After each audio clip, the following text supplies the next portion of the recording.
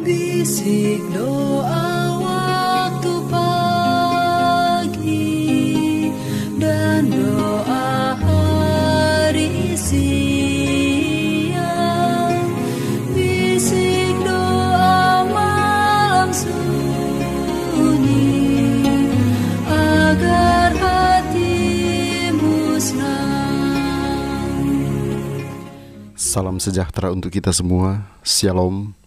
Waktu yang indah ini mari kita gunakan bersama-sama untuk merenungkan kebenaran firman Tuhan. Tapi sebelumnya mari kita berdoa.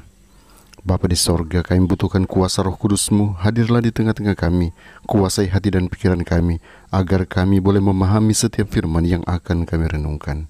Di dalam nama Yesus kami selalu berdoa dan bersyukur. Amin. Renungan kita hari ini berjudul Oknum yang ada dengan sendirinya. Ayat inti Yohanes 8 ayat yang ke-58. Kata Yesus kepada mereka, Aku berkata kepadamu, sesungguhnya sebelum Abraham jadi, aku telah ada. Abraham mempelajari dari Allah tentang pelajaran yang terbesar yang pernah diberikan kepada makhluk yang fana. Doanya agar ia boleh melihat Kristus sebelum ia mati sudah dijawab.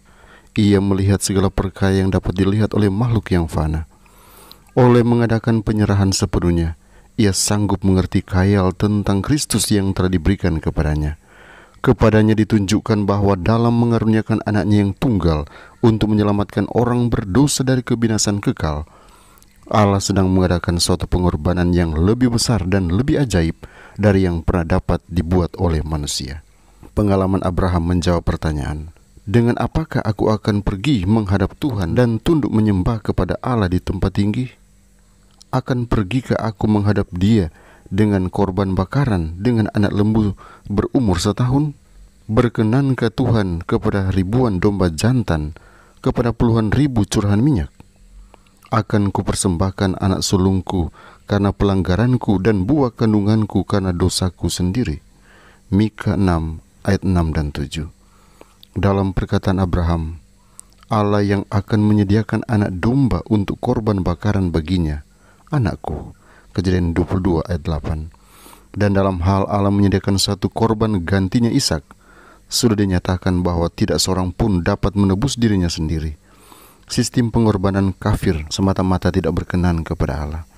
Ayah tidak boleh mempersembahkan anak laki-laki atau anak perempuan untuk korban karena dosa.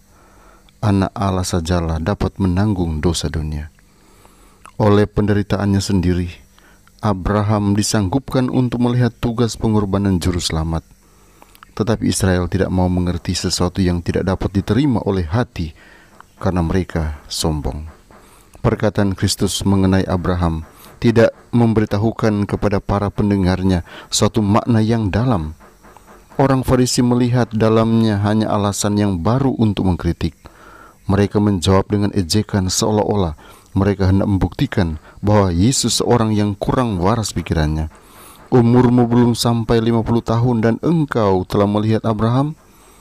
Dengan kebesaran yang penuh hikmat, Yesus menjawab, Sesungguh-sungguhnya aku berkata kepadamu, Sebelum Abraham ada, aku sudah ada. Suasana tenang meliputi rombongan orang banyak itu. Nama Allah yang diberikan kepada Musa untuk mengungkapkan buah pikiran tentang hadirat yang kekal telah dituntut sebagai miliknya sendiri oleh Rabi Galilea ini. Ia telah mengumumkan dirinya sebagai oknum yang ada dengan sendirinya. Ia yang telah dijanjikan kepada Israel, yang permulaannya sudah sejak purba kala, sejak dahulu kala. Mika 1 ayat yang kelima.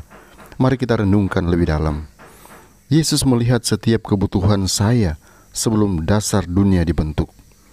Bagaimanakah saya dapat berterima kasih kepadanya saat ini karena telah mengasihi saya sebelum dunia dijadikan? Tuhan Yesus kiranya memberkati kita semua. Mari berdoa. Kami datang dengan penuh ucapan syukur oleh karena penjagaanmu, perlindunganmu yang nyata bagi kami. Saat ini kami sudah disegarkan dengan kebenaran firman-Mu. Kiranya boleh menuntun kami hari ini, kami boleh berkarya bagimu. Tolong tuntun langkah kami agar kami selalu berjalan dalam kehendak-Mu. Apa saja yang akan dilakukan oleh umat-umat Tuhan, hamba serahkan ke dalam tangan-Mu. Kiranya sukses kami boleh raih. Tantangan yang dihadapi oleh umat-umat Tuhan, hamba juga mau datang menyerahkan seutuhnya ke dalam tangan-Mu. Biarlah Engkaulah jalan keluar mereka. sehingga umat-umat Tuhan akan terus menjadi pemenang bersama-sama dengan Engkau. Terima kasih karena Engkau menjanjikan berkat yang luar biasa bagi kami hari ini. Karena kami berserah penuh hanya ke dalam tanganmu dan kami yakini Engkau akan memberkati kami sekarang, besok sampai hari Maranatha. Di dalam nama Yesus kami selalu berdoa dan bersyukur. Amin.